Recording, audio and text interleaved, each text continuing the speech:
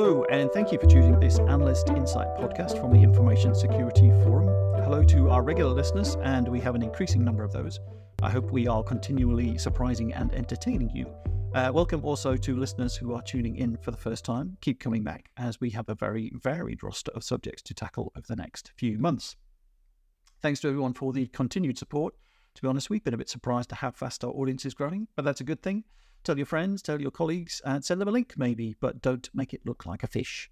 Uh, we don't want to be responsible for any of those incidents. Thank you. Uh, we're trying to make these podcasts as diverse as possible. So if there's an issue you think we should pursue, you've got questions and comments on what we have already covered, let us know. We are getting, getting emails, so many thanks for getting in touch.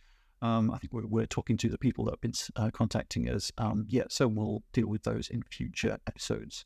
Uh, contact details for myself are on the Audio Boom page where every episode is now available. But this episode is the second in hopefully what will be quite a long running series looking at information security careers. Uh, we're going to be doing a few podcasts exploring particular jobs, roles, pathways, you know, how they change as people build up some uh, expertise. Today, uh, we're looking at security testing, um, penetration testing, and we're talking to a few people who do that for a living. My name is Mark Ward. I'm a senior research analyst at the ISF. And though I was a journalist for many years, I do feel like I could have ended up as a security or penetration tester given uh, different circumstances. Um, because as a journalist, um, I did a bit of hands on hackery. I knew my way around Kali Linux for a while. Um, and I cultivated a lot of contacts in that sector. I uh, got some great stories from it as well. Um, but also here to help guide the discussion is Bharat Thakrar, a former CISO and now a principal at the ISF who has done the hard work to pull this series together. So thank you for that, Bharat. Hello. Hi, Mark. Uh, it's a pleasure to be here, and it's going to be a pleasure talking to our guests, uh, focusing on career pathways in pen testing, security testing. So I'm looking forward to it. Yeah, we've got a great um, some great guests, and they they've had slightly different um, routes into this as a career, but yeah, there's some, um, yeah, but worth definitely going to be interesting to explore that. So to go around those, um, we have with us Alex Miller from uh, professional services company Mazar. Hello, Alex. Good to have you here. We have Barney Muller, who is pretty new to the field. Hello, Barney. And also we have Glenn Wilkinson, who has been doing this for a while, haven't you, Glenn? Good to have you. Hi, Mark. Yeah, it seems I'm the uh, granddad of security in the room. Definitely. I won't tell you how old I am because uh, uh, that would be uh, giving away too much information. But um, just to start off, then, um, Bharat, if we can talk a bit about sort of what the heck is security testing and penetration testing. So, because is it? Uh, I just, yeah, I suppose as well, talk a bit about why we're doing this series because there's, um, I suppose the reason is we want to demystify it a bit because I, often yeah. when I talk to people, they kind of fall into the field and given more information, they might be here quicker. Yeah, I think, um, Mark, it came about. I was doing some work for the UK Cybersecurity Council, and one of the areas they were grappling with was obviously the skills crisis, you know, more particularly in our field in, in cybersecurity. And one of the aspects that they found challenging was that it was very difficult for newcomers and even people in the field to find pathways, you know, find how to navigate this space. And often the discussion was around, well, I'm not quite sure whether I need a certification to do a particular job or uh, do I need a degree? And how many years experience do I need if I wanted to go from a intermediate level to a more senior level? And many, many questions around this. And so they started putting some information together for pathways. But I think it's still an area that really needs uh, help. And so I think, you know, if ISF uh, can assist with uh, resp- you know, doing our bit to respond to the skills crisis, um, I think it'll make a difference. And so I think it's becoming increasingly uh, more important now. So, uh, you know, it's fantastic to have our guests. And perhaps we can um, start with Glenn. Glenn, look, give us an overview of the security testing sort of landscape and pen testing uh, within that. Where, where are we and sort of how is, uh, how is it developing at the moment? Yeah, excellent question. Where where are we and how did we get here? So yeah depending how far back we want to go. I'd say the maybe the 90s, late 90s, mid 90s is a good place to start. Um, when back then there wasn't really this idea of pen testing, but the notion of modern day hacking was really getting its footing. It was kind of the, the heyday of hacker groups, you know, those funky acronyms, the Legion of Doom and L0pht and uh, Masters of Destruction um, and those those types of groups. And back then, hacking was mostly almost like graffiti, like spraying graffiti on the side of a building just to uh, kind of show off your skills or look at security. I think it was in maybe in the early 2000s when there was a big migration of enterprises going online, having their core business operations online, that the this almost secondary part of, uh, of hacking came to be, where it was to a degree financially motivated by the criminals breaking into networks to maybe steal information or, or get a hold of data. And at the same time, we kind of noticed, well, on the flip side of that coin, the good guys who just enjoy tinkering, we could start doing that kind of hacking, but as we say, for good, try and try and uh, break in to show you where your weaknesses are. I often describe it to people who aren't familiar with the industry as um, as uh, ethical hacking. Um, it's almost like hiring an ethical burglar to come and break into your into your home to show you where their weaknesses are. Because burglars generally have a different viewpoint and a different way of approaching um, security. The guy who installs the alarm, he's probably very good at certain things the guy who bypasses alarms and breaks into things probably has a, a different viewpoint as well. I think that's where, where this idea of pen testing first started taking off. It was much harder back then. So I, I got into this into this field, I guess the late um, the late noughties, so 2008, nine ish.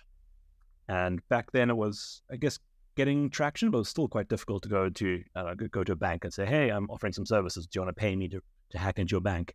And back then, yeah. you got you know, pretty funny looks. It was, it was, quite a hard sell. Whereas today, it's you know it's standard procedure. Everyone from the janitor to the C- to the CEO knows that you know, security testing is as much part of any business um, as HR or, or, finance or something. From my point of view, it's, it's, definitely evolved and matured, and it's it's a uh, it's almost a you know a, a well respected, well known career path now. It was kind of a bit more. Uh, fringe um, back in the back in the earlier days. Um, mm. But I would definitely say now it's yeah it's established, and um, there's definite avenues to get better avenues to choose this as a career path. There's a lot more guidance, a lot more resources, and I think thanks to you know, podcasts like this and wonderful people like Bharat and Mark helping people get into the industry, a lot easier for people to choose this career path. Yeah, because I think uh, certainly as a journalist, I remember writing in the 2000s about well, obviously the dot com boom, and that spurred a lot of people to because it was it was suddenly money at stake, so they had things that they had to protect. Um, but you also got the DDoS attacks and Yahoo and things around there as well. So there's a lot of cybercrime really took off around that. So interesting that this I'm going to guess, understandably, why this took off at the same time. Just to ask, uh, in terms of entering the field, Glenn, you know, and then we'll come to Barney. Um, would you say that there are two or three sort of core areas or core entry points. Uh, pen testing might be one. Uh, security analyst probably is another entry point. But beyond that, you know, um, it, it, you you have to actually go through those routes in order to get you know something like threat ana- analyst or architecture or something like that. Is that would that be the right way? Yeah, I, I think broadly speaking, there's do you like breaking things or do you like making things? So you're, are you an anarchist or an engineer? if you like breaking things, then the pen tester route is for you. Like that's that's your bread and butter. Just break, break, break, break. Like cu- curiosity and tearing things apart, and that kind of a is a childhood curiosity.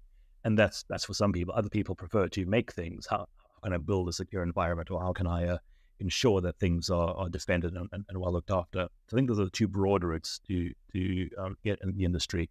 And then once you figure out which route is more appealing to you, then maybe break it down in terms of, yeah, like, like you say, maybe it's uh, sitting in a SOC or threat analysis or uh, maybe even uh, you know, DevOps security um, or building secure applications or that kind of thing. On the other side, it's okay. I like breaking stuff. Well, do I like breaking networks, Wi-Fi networks, or you know, wired networks, or cellular networks, or do I prefer reverse engineering applications, um, or do I even you know, even do, more. Uh, Glenn, can I ask, do people tend to specialize then? Because you can't break everything, or you can't know about everything to break everything. So people tend to yeah, yeah, definitely. So find I mean, the thing there are definitely some hackers out there who are just good at everything and it's super annoying.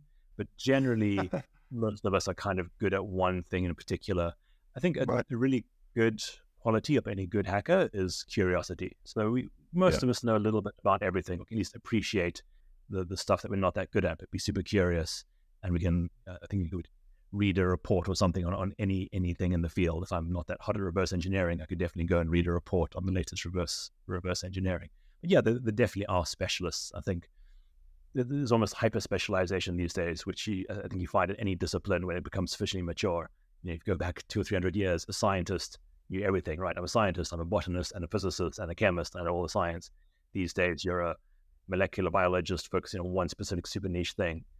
And it can be the same with security these days. You can be a, a security researcher focused on reverse engineering, focused on a very specific uh, CPU architecture and a subdomain of that CPU architecture, which I think is right. excellent. It's just showing how, how far we've come and um, yeah. how mature we are as a, as a, as a field. So let's ask uh, someone who's been reasonably new to the field. Barney, I think you've been in two years. So, and, and you had a very interesting entry to this uh, uh discipline here. Tell, tell us a bit about yourself. How did you ma- how did you decide on cybersecurity? And how did you decide on pen testing? And give us a bit of background about so your. I, so I was a career changer. I was a, a career musician for 15 years, a guitarist, uh, specializing in live session work. Um, I played for sort of live artists and theatre shows. Um, and I just decided to change careers really because of the music industry. The the climate at the time was was declining, and there wasn't enough work. And um, so I looked into different careers I could do. Um, I was instantly drawn to IT, I think, because of the flexibility. So with my previous jobs, I, I like to travel a lot, and I wanted to find a profession that I could do like anywhere in the world. I didn't want to, to stay in one place. So um, I actually uh, responded to a campaign by the Department of Culture, Media, and Sport, um, which was uh, Fatima's next job could be in cyber, um, and I actually saw I saw that advertisement um, and signed up and uh, went on an eight week course, which was fantastic to be honest. It showed all the different um, areas of cybersecurity, including pen testing. Um, and uh, governance, risk, and compliance, which I think is another area that we maybe haven't spoken about, which I think is also um, quite a popular route into the industry. Um, my first job was actually in a management consultancy um, and pen testing. Although I specialised in pen testing, the pen testing team was actually quite small. Um, and the majority of the team was actually governance risk and compliance, looking after things like ISO 27001 um, and PCI audits, which um, I think is you know is is, is a, a, huge part of the field as well. And that was my entry, really. Yeah. So beyond the eight weeks, then Barney, what other training did you did you have? Uh, any anything any qualifications or any um uh sort of formalized training? Um, so yeah, so I actually joined up to uh, kind of cybersecurity boot camp, which um, offered uh, a learning path of various certifications. Um, I did uh, a group of certifications from a company called CompTIA. I did like the A plus, then the Network Plus, Security Plus, and then finished with the Pentest Plus. Um, and when I actually joined um, my first job, it was quite important because a lot of the pen testing jobs that we did were regulated. It was important for me to get um, CHECK status as a CHECK team member. So um, I went on the CREST route, which at the time was uh, um, the CREST practitioner security analyst, which was the first exam, and then the CREST registered tester. Um, and that's where I am at the moment. Right. Is that one of the big differences from the early days, Glenn? I guess that you know you, you need a badge to wave at organisations to sort of say, yes, I'm. You know, everyone trusts me to do this. Because in those old days, you could just knock on the door and go, uh, "You got a bit of a problem here," and see what happened. Yeah, yeah, yeah, definitely. The, there, there weren't certifications when um, uh, when I got into this in the late late noughties. Um, my my entry was somewhat haphazard. I, as, as a teenager, I you know, I tinkered and I tore things apart, and in, in, hindsight, it was some some degree of hacking, you know, tearing apart um, you know, games, demo games, reverse engineering demo games, understanding how the internet works and how I could bypass things. Studied computer science at university just because I was good at computers. It was only at the end of my undergraduate on careers day when um, a company came along called SensePost and gave a presentation and said, "Hey, do, do you guys want to come work for us? We'll teach you. We'll, we'll, we'll let you hack into banks as a and pay you to do it." This is, this is not a job. What are you What are you saying? because every, every other every every, every other um, job placement company was yeah come work for us and wear a suit and sit in a cubicle and write Java code. Um, so it was a yeah slightly different uh, entry path for me. I ended up doing a doing an, uh, internship for them. That's where things kicked off. But yeah, back then there weren't really any or many certifications, and I, I don't think it's a, a, good thing or a bad thing either way. It's, it's fantastic that there are so many certifications these days. I think it really lets you know where you are and gives you almost goals to approach and to reach and to understand your own level. Um, but some days, still these days, not everyone does um, certifications. It's useful some for some reasons. I think the the best thing and the most wonderful thing about this career path is you you don't need to do yeah. a degree or a certification or anything. You can jump on YouTube, watch some videos, um, and just tinker and play and learn. If you want to be a doctor, you probably have to go to a um, university medical. But best not to do that at home, I think. It... and just grab a scalpel yeah. and start playing. But I think with this career path, it's definitely the, the best way to get into this career and the best way to, to get good is just to tinker, to play, to break, to understand and uh, and tear things apart. And then as a bonus, yeah, definitely. Certs, certs are not going to help. Certs are not going to not help. Certs are going to help. And, and Alex, you uh, did a degree, and at 18, you knew absolutely that you were going to be a cybersecurity specialist. Is that right? Uh, I think 18 year old me would have been um, a little bit shocked to see where I am now. Yeah, understatement. So I did a, a maths degree, which I absolutely loved. Um, I had no specific career in mind with that. I just genuinely loved maths and yeah, geek space safe zone, I hope here. Um, so I was in my my final year and I knew I didn't want to continue in education, um, but also, yeah, didn't really know what I wanted to do. And I was kind of having conversations with people and cryptography came up and that, that's, that's interesting, you know, big prime numbers and number theory and interesting things there. And then just kind of a natural extension from those conversations, some people said cybersecurity.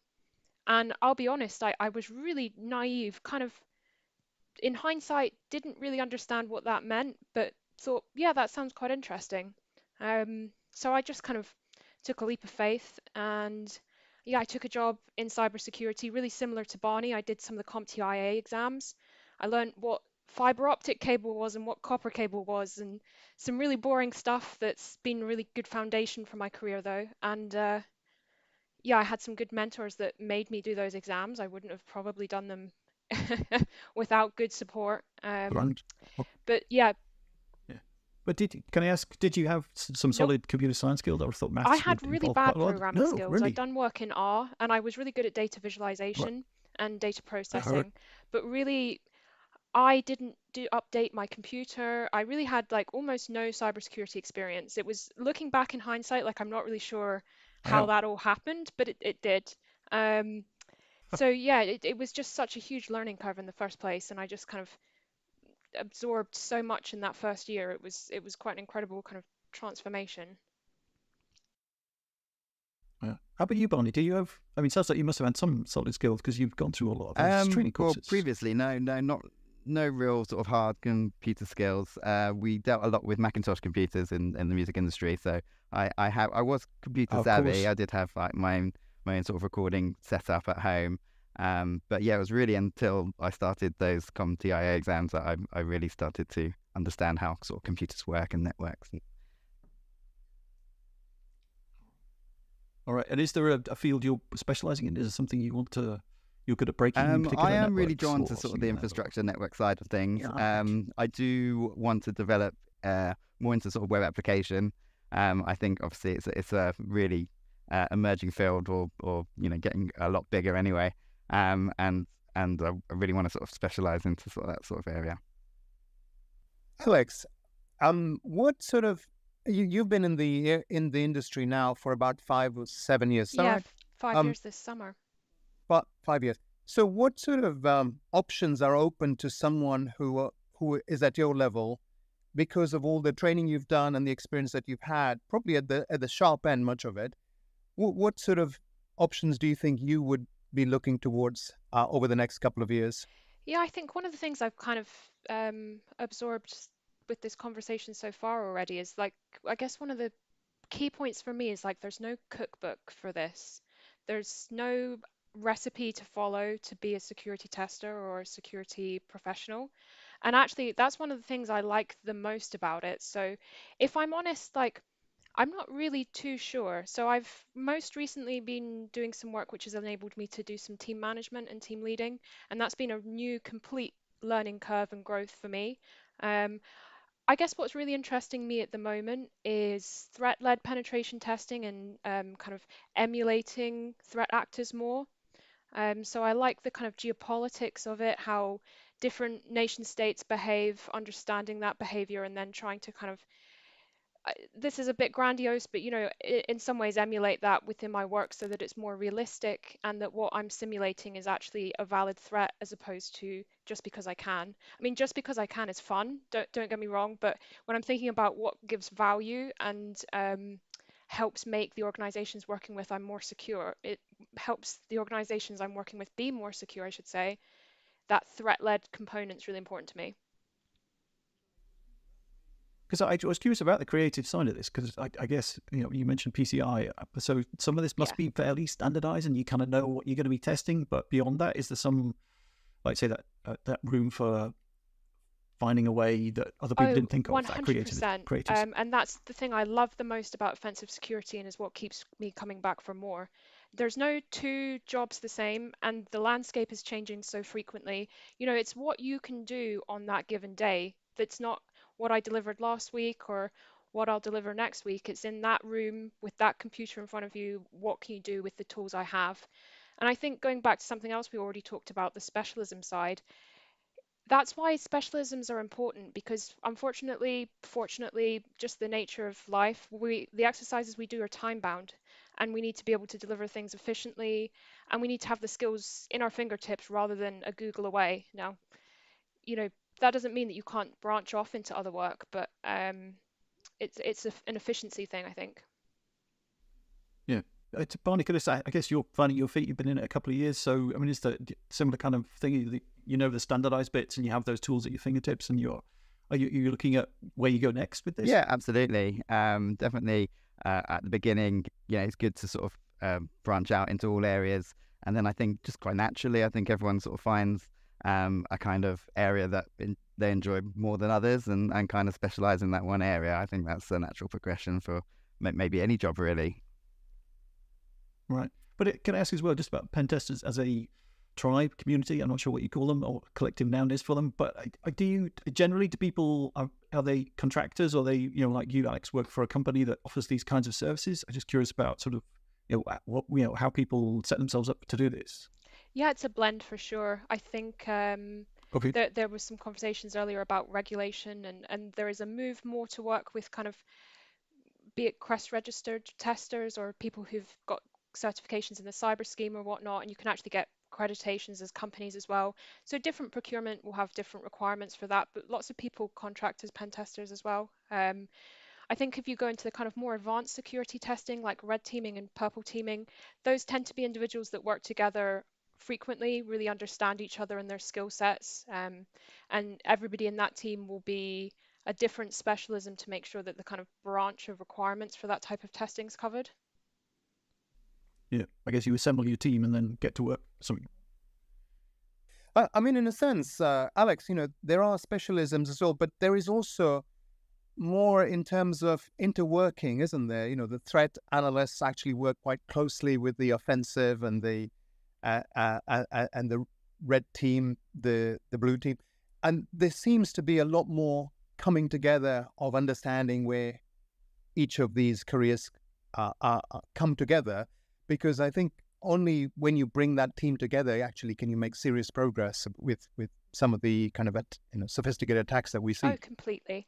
And I think there's a rise more towards what we call purple teaming, which is kind of uh, where you deliver offensive engagements that simulate cyber attacks, but you're doing that with the client fully being aware throughout.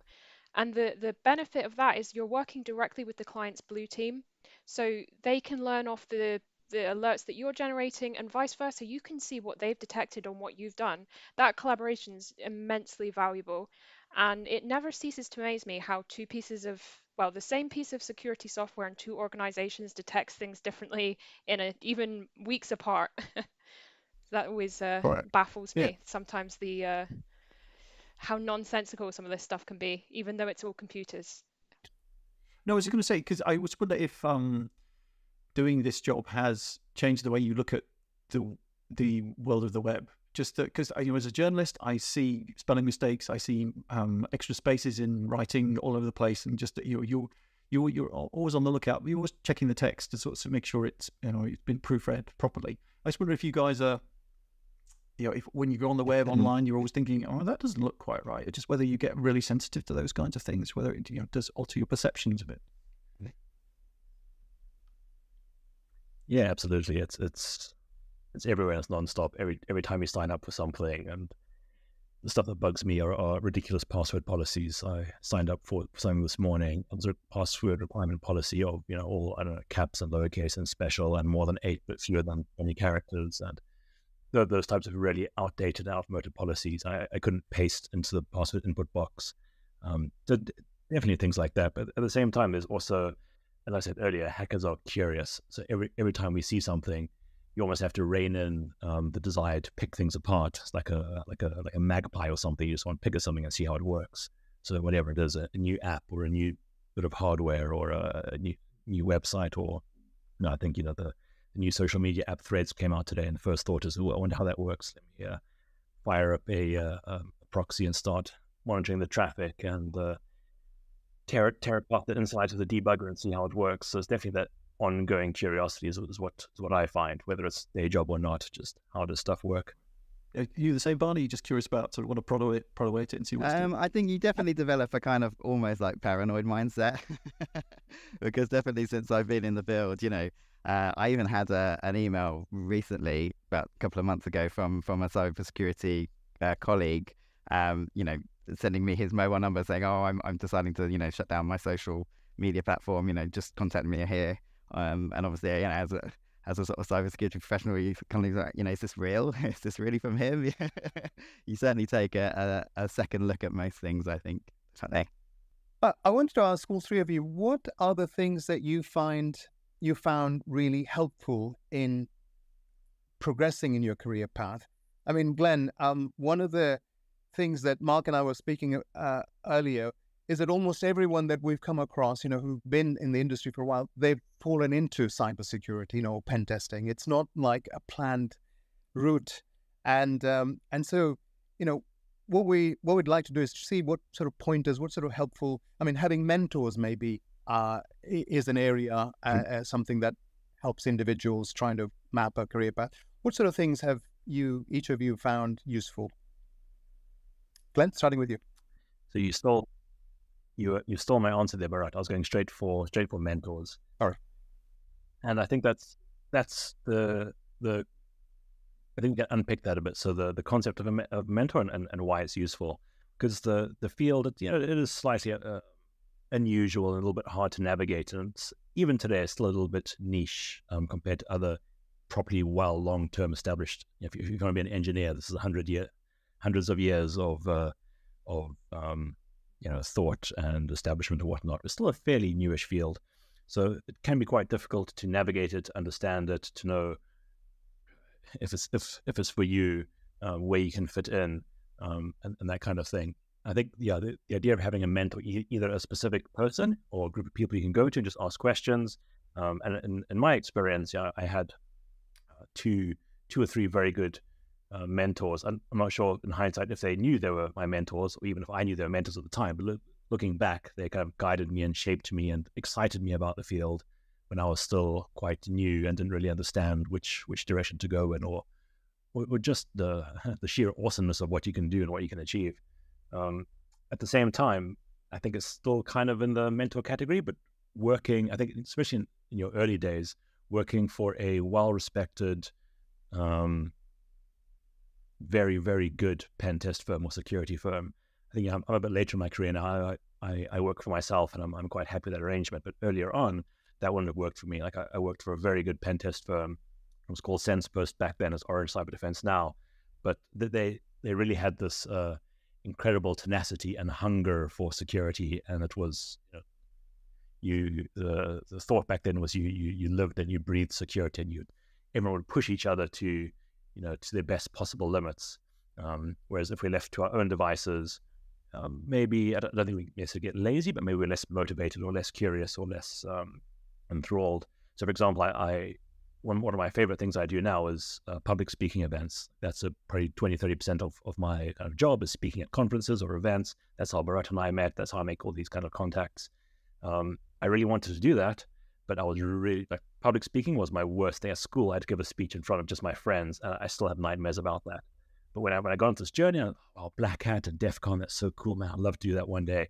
I'm so scared. I remember chatting to uh, some friends, my first pen test job. Like, well, you just just find a conference you like and write an abstract and submit it.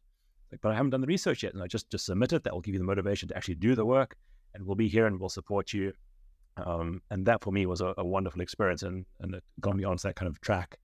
I don't think we, we mentioned this earlier on different career paths. You know, definitely conferences and public speaking and uh, research and development, giving back to community is definitely a big part of of pen testing, security, ethical hacking, and whatnot. Um, I think having those people around you who can lift you up that makes the biggest impact early in your career is my uh, my short answer. Barney, uh, any thoughts in terms of uh, what's helped you so far? Definitely, mentorship is has been uh, a, a, massive one. I think most organisations now do realise that, and both jobs that I've um, had in cybersecurity have assigned me a mentor um, that I can, you know, ask questions to and and learn from. Um, and I think if you're, you know, transitioning into cybersecurity, I think don't be afraid to to ask because I think um, the community is really, really friendly. It's really helpful. I've definitely found that. I've sort of just um, blindly messaged people, going, you know, I'm new to this. You know, would you be up for, you know, a call and, and chatting about it? And and on on the whole, most people have have been really receptive of, of that, and um, I've had great responses from people. Yeah, cool. And just to chip in there, even even later in the career, so I'm seemingly the the well established person on, on this call, but I'm still new in so many fields. I was recently exploring some stuff I had no idea about. I reach out to someone who's probably 15 years younger than me, but they're they're an expert in it, and that's, that's no problem. You know, the as as Barney says, the the community is very welcoming, and it's a I think a strong ethos of the hacker community is to share knowledge. That goes right back to the roots, back to the back to the '60s, where the word you know hacker originally came from. Back then, it's all about knowledge sharing and lifting each other up, and that's still uh, that still is very much the case. Alex, I assume that in your organization you actually have a formal mentoring program, and presumably you're a mentor to other youngsters? Yeah, which is kind of crazy. It's uh, that, well, it feels like that to me. Maybe I shouldn't say that out loud in a podcast, but I think for me, the the big thing is is trust and opportunity. I look back at the trust and opportunity I was given five years ago, and in hindsight, it feels kind of shocking. Um, but then I realized that actually it's about the attributes that you have as a person and the knowledge can be acquired. And I think if you trust in a person that they have the right attitude, the right ability to learn, then giving them that scope with the relevant safety nets, but trusting them to go and learn and do something interesting. And I'm, you know, it's actually really, really fruitful now to see people who um, you know, you give that scope to, and then they come back and do something better than you could have done, some totally different tangent that you never would have explored, and that's that's really rewarding. Um, so yeah, it's I think like allowing allowing people the space to to explore something new, even if you're not sure that they're quite there yet.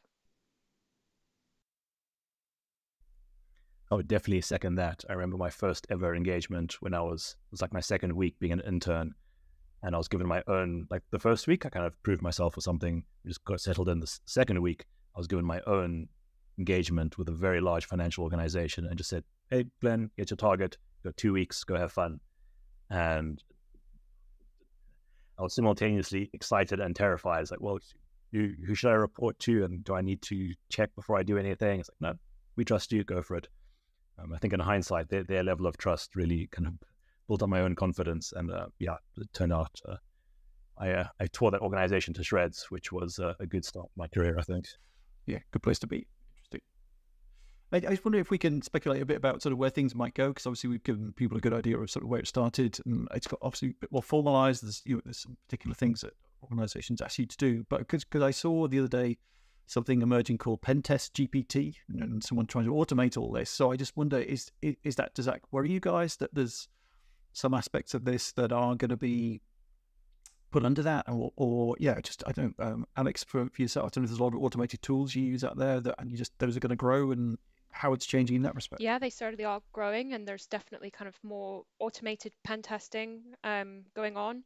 I think pen testing is moving in that direction, and more of the kind of scenario based testing or testing where we're not just looking at the technology, but we're looking at the people and processes and how those interact together.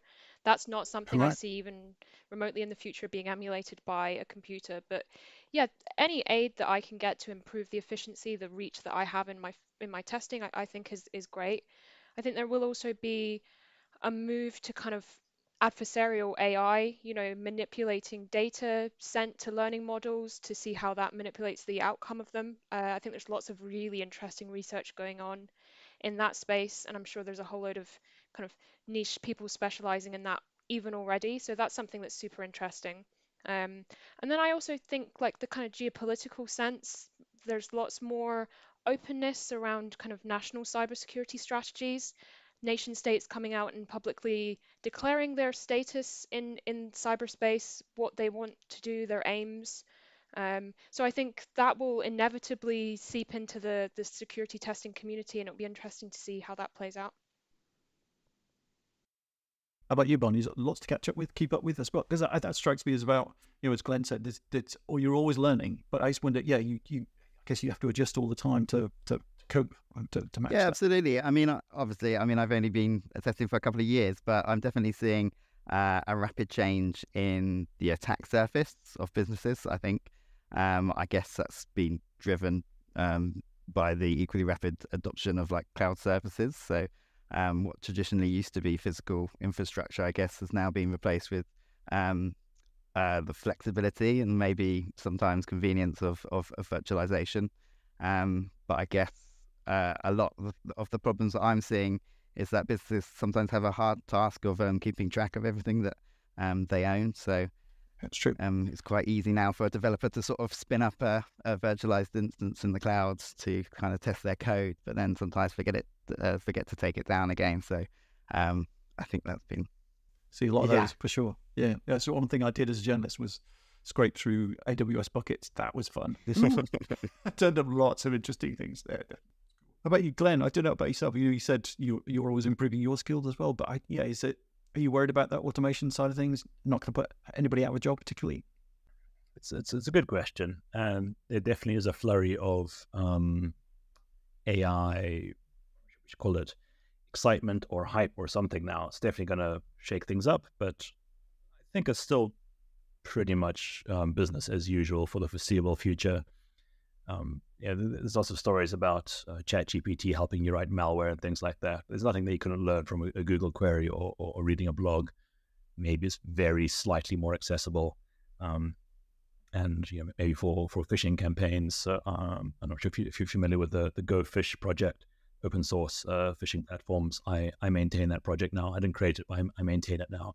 And I added a Go, uh, I, I added a, a ChatGPT module to it, so you can just click create template, click create email, yep. um, click create page, etc. Yeah, slightly convenient maybe. Uh, who, who knows? I think it might it might shake things up more so on the side that Alex mentioned, maybe uh, data modeling and, interpreting massive amounts of data, um, essentially uh, emulating an analyst. Possibly he has ten thousand uh, IOCs. Um, in uh, in the case of compromise, please go through them and tell me anything that seems a little bit odd. You know, maybe it's easier to ask a bot than to go and write an R query, an R query or something. Maybe um, slightly devil's advocate. Something I always try and keep in mind is how useful we are as pen testers and as an industry. Um, Haroon Meer gave an excellent talk about ten years ago now called um, "Is Is Pen Testing Considered Harmful?" And one of the things he, he brought up was the idea that we need, we need to be mindful as an industry that we're not that pen testers aren't just emulating other pen testers. Because we go and we do a pen test and oh we found these things okay we fix these things come and again do another pen test. But we, we're just acting like other pen testers because those are things that pen testers would find as opposed to real world problems and threats that hackers would actually go go and target. So that's something that I am always quite mindful of because the, the, industry is huge and there's a lot of money and there's a lot of activity and people and things going on. Um, I'm always mindful of uh, are we actually doing good? Like, let's make sure that we're actually contributing to security and making things better in, in one way or or another, but just keeping an eye on ourselves because you're, sometimes I find we're in our own little bubble. Um, maybe sometimes we need external stakeholders or external points of view or just a reality check to make sure that we are on a um, the the, the noble part. Yeah, we find that with ISF members, a lot of them obviously you know, have a lot of regulatory mm. responsibilities and they do tick a lot of boxes. And sometimes I get the impression that you know, a lot that's all that some people do. And they don't actually drill down into, well, what does that mean for our organization? Yeah. Yeah, yeah, it gives you an absolute the, the the risk that I find is gives you an absolute false sense of security. Okay, we had a pen test done. they said we're good, so we're good. It's like no, you're you're safe against pen testers. Um, it's like having antivirus, but antivirus is outdated. It's like, oh, the AV, I'm safe, so I can click this link. Your your AV is outdated, and um, anyway, any any hacker with assault can bypass any any antivirus uh, software. So often, I find for an engagement, if an organization is using antivirus, it's almost easier to get someone to click a link or to download a file or to do something because they have a false set of I've got AV, that's fine. I'll click the links and download the things. A- AV would tell me if this, if this was bad. Um, and I find sometimes in the industry, we sometimes prob- um, maybe uh, perpetuate that with, uh, with with the approaches taken to pen test, especially when it's more like check checkbox pen testing. Um, yeah. I, th- I, think threat modeling is excellent. We should definitely do that, but just be a bit wary of um, yeah, just kind of tick, tick boxing and certifying right this this organization yeah, I, is I safe. think that even extends to red teaming. I completely agree. Um, you know, just because you've had adversary emulation and somebody's come in and tested whether a scenario is, is feasible or not, that doesn't mean that tomorrow it's not going to be feasible when there's a new zero day or, you know, a, an organization spent a large amount of time researching your stuff or, or whatever it is. It's it's uh, there's very little certainty gained, and I think it's agreed really important to highlight the gaps in the coverage and also just kind of uh, how how grey some of this stuff often is. Yeah, because certainly one of the best customers yeah, of security tools is the bad guys when they they have all the tools, they yeah, run them all. I've, they, I've been involved yeah, in. Yeah, they you know, find all the loopholes, and that's sometimes that's how they get in. Yeah, yeah, I've been involved in pen tests where I, I come in straight after another vendor, and they've got a green report, A plus security, everything's fine, and I I break in within five minutes just because fresh mindset, different approach. Yeah. Um, it's not to say I'm an amazing hacker. It could be the other way around. I did a test. I said everything's fine. Another firm comes in. Hey, presto, they they break in. So yeah a pen test doesn't mean that you're secure. It means that you're secure against the things that yeah. the tester tested against. Yeah. Um, I, I, think a good mindset for any organization is to assume that you are breached. Yeah, absolutely. Assume you're compromised and take um, actions in the way you, you, you handle your data. That's the, that's the whole idea, but behind um, behind zero trust, just assume everything is breached and everything is is, is, is dirty and contaminated. Um, yeah, and that's that's probably quite a a useful way to approach things. Yeah, I just to um, round things up. Are any more questions? I think we've given people a pretty good idea, but I want to sure yeah, if there's anything you wanted to round just up. maybe one more. You know, we started off with saying that you know there is a, a skills gap issue. Is this still uh, an issue? You know, are we still in need for skills in this particular segment, in a specific, specific discipline, and are we making it attractive? You know, are the salaries attractive? Uh, do we address the diversity inclusion sort of issues? What do you think in terms of the industry? Yeah. Difficult question. Yeah, no one wants to answer that. Barney, are you making more money as doing this than you were as a musician? I don't know. Difficult question to answer, but yeah, is it is it a good place it's, to be? Yeah, it is a difficult question to answer. I mean, I actually took a pay cut when I took my first role in pen testing. Um, quite a significant, about probably about ten grand. I, I took a ten grand pay cut for my first role. So I think there's definitely you know you you have to be expected to do that i think within the industry um, when you start out, especially. Um, I think there is obviously an amazing career progression, and you can, you know, the earning potential can get, you know, enormous. But I think you've got to be realistic. If you're if you're already established in in one profession and, and then moving to a new profession, you are going to be new. You know, you're going to be um, fighting for jobs along with graduates, so you can expect sort of you know that sort of salaries. Um, yeah, I think that there is probably a long way to go with like diversity and inclusion. I think um, definitely from what I've seen uh, within the industry. Um, but um, I think I think it's definitely on the agenda for most organisations, and hopefully, um, you know, most people are, are, are, addressing those those those issues that we face. Yes, I think um, it's definitely a. a I'm sorry if you have other answers, but yeah, definitely agree. I, I, think getting getting in, you can definitely take a pay cut, but I've seen a lot of people come from an established job to you know, swap into pen testing, and if, if you're not motivated by the money, you'll end up making a lot of money. Um, if, if you want to get into security for the money, you probably won't make that much. But if you're just passionate and, and I, am going to stop being a banker or whatever, I want to be a hacker, and you're really enthusiastic, passionate, and get stuck into it, yeah, you'll take an initial pay cut. I've seen that enthusiasm pay off big dividends in the long run. I totally agree. So do you all call yourselves hackers? Is is that a thing? Is that a your badge wearing hackers? I don't really use the word hacker actually, and I really kind of no right? appreciate the recent move by the Security Council to security tester. when I tell people I'm a penetration tester, worst I tell them I'm a CREST registered penetration tester, that usually prompts laughs for people who are not in cybersecurity industry. I think it's actually a really good Yeah. move for kind of uh, from an inclusion diversity perspective to move towards the security tester label. Um, Yeah, Yeah. and they've Yeah. Accommodated vulnerability testing and other areas, um, similar areas to that. So that makes sense, yes. Okay, that's been very useful. Um, Glenn, um, Alex, I think that's sort of excellent in, insights into this area. And Barney, you know, uh, wonderful um, mapping of your musical career onto pen testing and beyond. Just to round up, then, just one final um, comment quickly from all of you. Just, I, I suspect I know the answer to this, but uh, would you recommend security testing as a career? And if there's one thing someone should do if they want to get in it, what should they do? So, starting with you, Barney. If you know, would, I guess you would recommend it, but if you know, if one, someone wants to get started, what should they do? Yeah, I mean, I, I would absolutely recommend it. I think it definitely suits people who enjoy solving puzzles. Um, um, I think that's that's that's definitely one of the the key aspects. If you've got like a curious, inquisitive nature, uh, this this is definitely the profession for you. Um, and um, I think if you want to get more information, I think there's plenty of uh, websites out there that actually can train sort of technical skills, such as TryHackMe. Um, have have a great website that you can sort of it guides you through different uh, rooms that you can complete um, and gives you a flavor of what penetration testing is all about. Um, and then there's Hack the Box, which is, is slightly more advanced, but you can um, go onto those as well. Excellent. Thank you. Alex, I guess you'd recommend Yeah. it? Yeah. uh, One thing that people yeah, should do? definitely would recommend. I think for me, it's about getting that solid technical foundation. I'm really thankful to the people that forced me to do that in the beginning, uh, reticently, but I now try and encourage others to do the same because I think it pays off Yeah. dividends later down the line.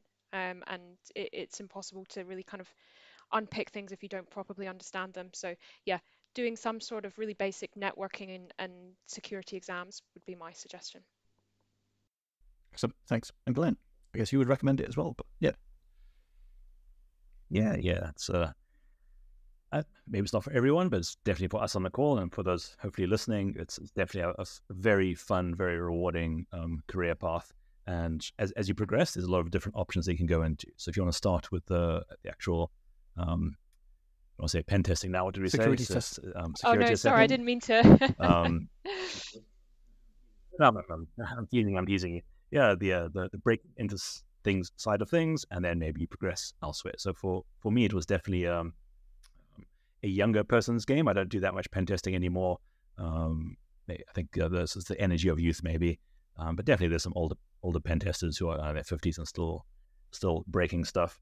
I think the the best advice for me, if this kind of uh, career path interests you, is just to tinker. It's so easy these days. Start, you know, set up, uh, you know, um, download whatever virtual machine software you want, VirtualBox or something. Set up an entire virtual lab, Windows boxes, Linux boxes, create a whole Windows domain, um, create an entire organization, and just get tinkering. How does stuff work? How does authentication work? Put up a website, and just break stuff. It's it's not a good idea to go and hack, you know, real websites. You know, if, if it's TryHackMe or something, that's fine, but don't uh, don't cut your teeth breaking in real stuff. Create your own environment and get stuck in there.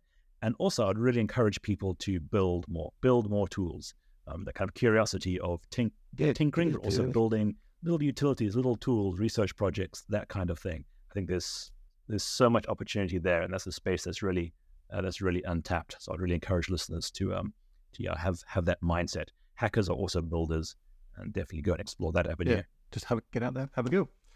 Thank you, everybody. Uh, thanks, Bharat, for setting this up. This has been fab. I've learned a lot. And I think I'm more convinced that I should have been a pen tester earlier on as well. Uh, thanks to everyone for listening. Tell your friends. Uh, you can now find ISF podcasts on all major podcast platforms. If you look at the show notes for our page on Audioboom, you can subscribe to make sure you don't miss an episode. And who'd want to do that? Uh, the podcasts are also available uh, at securityforum.org, where you can also learn more about ISF research, tools, and guidance.